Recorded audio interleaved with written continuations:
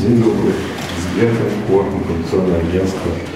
Принесли к вам обращение наших читателей. Что вам нужно? А так? Да. Я тебе сейчас уточню. Да, хорошо, когда конечно. Хорошо, Да. подождите. Да. Он не хочет Всё, да? Да, спасибо большое. До свидания. Я вам еще раз говорю, все, которые